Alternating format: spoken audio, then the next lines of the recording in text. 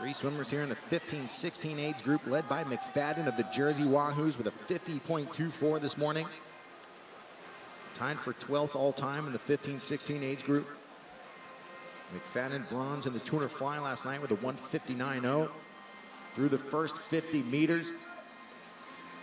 Lead split 24 flat from Thomas Heilman in lane three. The 15-year-old with a 50.34 this morning equaled the 14th best time in age group history for 15-16.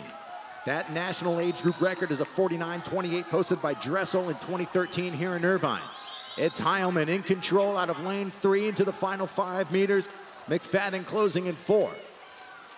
The final touch will go to Thomas Heilman with a 49.67.